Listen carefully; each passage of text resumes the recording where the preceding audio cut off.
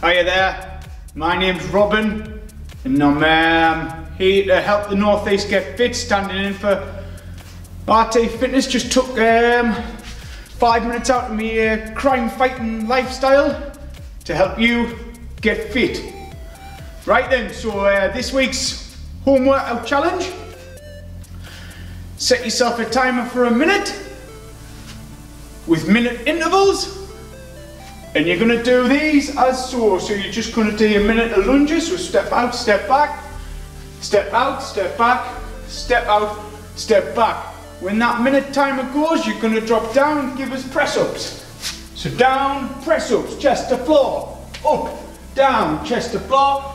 If you can't do them, make sure your knees, when you come down on your knees, are in line with your hips. So down, chest to floor, up, down, chest to floor, up. Once you've done those press ups in the minute time timer goes, you're gonna do high knees. Just like that. On the spot. Round and round we go. Then you're gonna take a minute rest. And you're gonna repeat that five times through. Enjoy it. Don't text and drive. I'm Robin, standing in for RT Fitness, getting the Northeast fit.